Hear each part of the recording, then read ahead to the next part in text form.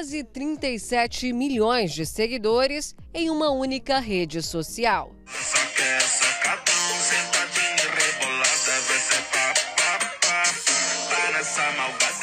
Tanta popularidade chama a atenção não só de fãs e seguidores, mas também de golpistas. Esta semana, a influenciadora digital Virgínia Fonseca publicou nos stories de uma de suas redes sociais um texto com um alerta para que seguidores não confiem em publicações ou links de promoções, ofertas, sorteios, vendas, negócios em geral que usem da imagem ou do nome dela e do marido, o cantor Zé Felipe. Ao final da nota, ela cita que tem um perfil usando o nome dela para aplicar golpes. Virgínia não registrou o boletim de ocorrência, mas o titular da Delegacia de Crimes Cibernéticos diz que golpes assim têm sido comuns. O que eles fazem, às vezes, é copiar, é, fazer uma conta muito parecida com a, alguma conta existente. Né? Eles usam as fotos, que é muito fácil de pegar, é só você entrar e copiar a foto e põe um número, um nome muito parecido, é, mudando às vezes ali só uma letra, um caractere, e quem ali procura, ou mesmo esses criminosos, eles vão atrás de seguidores, né? Às vezes eles pegam até uma conta e mudam o nome né, depois.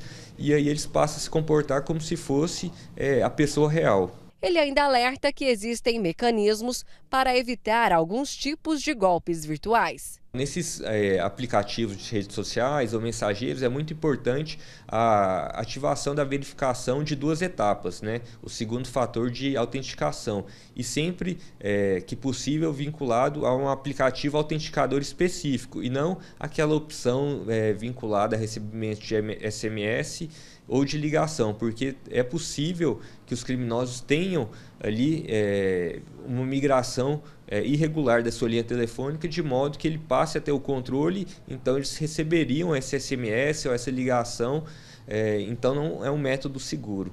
A vítima pode fazer a denúncia em qualquer delegacia, mas a polícia também orienta que o golpe seja relatado na própria plataforma, para que providências sejam tomadas contra o perfil falso ou aquele que foi subtraído. Todas essas plataformas, eles têm ali os seus campos próprios para você reportar, né? Então, assim, se você está diante de um perfil que você viu que é criminoso, um perfil fake, que esteja fazendo esse tipo de exigência, é, você pode reportar. Então toda plataforma teria essa opção de reportar esse abuso e quantos, quanto mais pessoas estiverem reportando, mais rápido será retirada dessa página, desse perfil do ar.